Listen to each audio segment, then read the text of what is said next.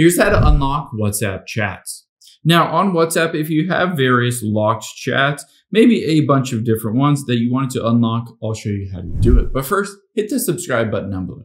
It really helps me out. Thanks guys. Now, the first thing you're gonna do, of course, is open up the WhatsApp app. This works the exact same on your iPhone or Android. It doesn't really matter.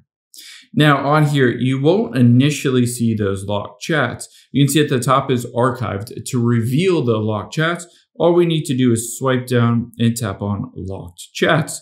And I'll just use my Face ID to unlock it. Now here you can see is my locked conversation. I can go in there and see it and read it. However, there are two different ways to unlock it. The first way is to press and hold on it and then hit unlock chat. Or if you're in that specific conversation, you can always tap at the very top and then you can see lock chat. You can turn that off.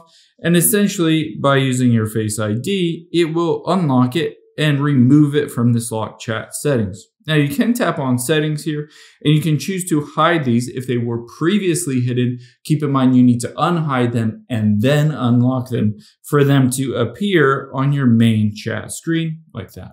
Hope this helps. If it did, hit the like button down below and leave a comment if you still have any questions.